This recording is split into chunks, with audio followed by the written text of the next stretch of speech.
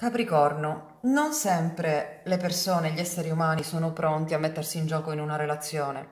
In particolare questa persona con la quale voi in questo momento state interagendo sembra doversi occupare di problemi, uh, di problemi di tipo diverso e quindi ecco che la vita amorosa viene un po' messa in secondo piano.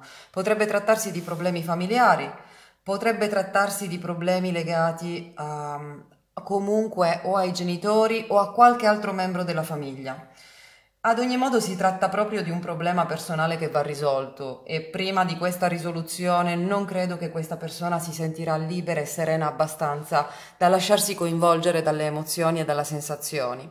Piuttosto mi sembra, uh, mi sembra che stiamo parlando di qualcuno che um, ha dei progetti, ha dei piani e per portare a termine questi piani deve percorrere delle tappe, delle tappe obbligate.